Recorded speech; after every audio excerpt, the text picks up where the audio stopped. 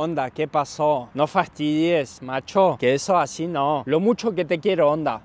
La Kawasaki ZX6R versus Honda CBR 600RR. No nos olvidemos que para manejar estas dos motos tenés que tener el carnet A. Acordate, el A2 no sirve.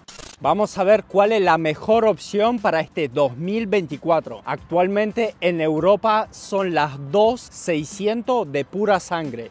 También estaba la hermosa R6 de Yamaha. La puedes comprar solo para circuito.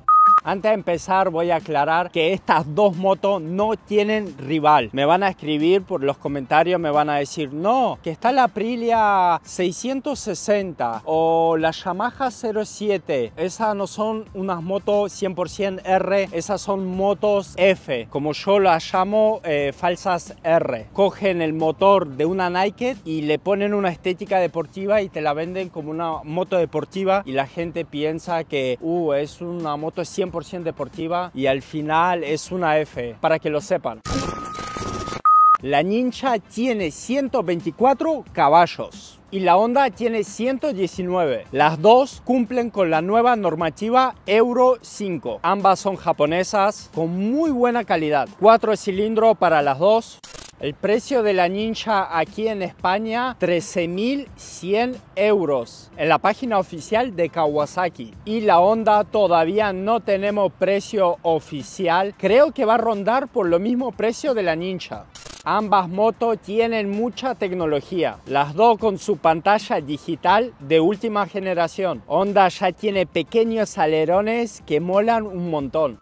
Tuve la Kawasaki, el modelo 2021 y la verdad esa moto me enamoró. Iba muy fuerte y el color de la Kawasaki siempre fue muy venenoso. Me encanta. Una moto que va muy fina. Como siempre digo, si es Japón es bueno. El rojo de Honda me vuelve loco. ¿Te gusta lo verde? La Kawasaki. No tuve la suerte de probar una Honda 600 RR, pero algún día va a caer en mis manos.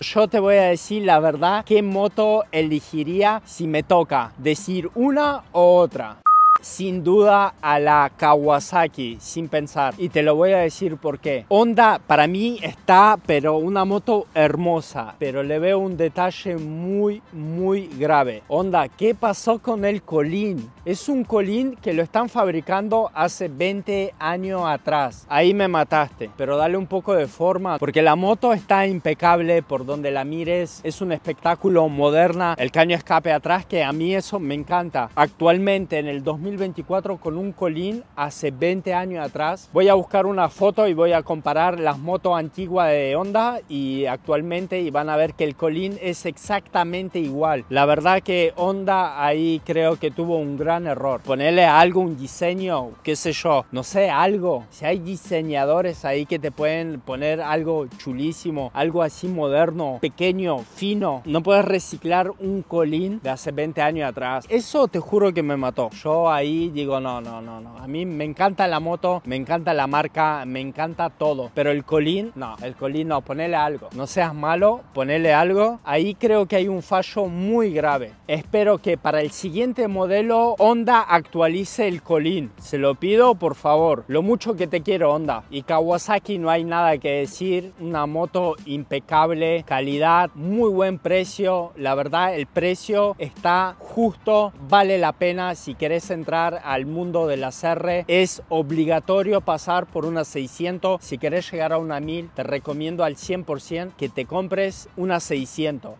Si te da igual el colín, anda a la CBR, sin dudar. Bueno, bueno, todavía no sabemos el precio. Si Honda, si Honda pone un precio elevado, ahí está, ya perdió. Kawasaki la mejor opción. Así que llegamos al final, poneme en los comentarios qué moto comprarías tú, si la Ninja o la CBR. Nos vemos en el próximo video. Chau, chau, chau, chau, chau. Chau.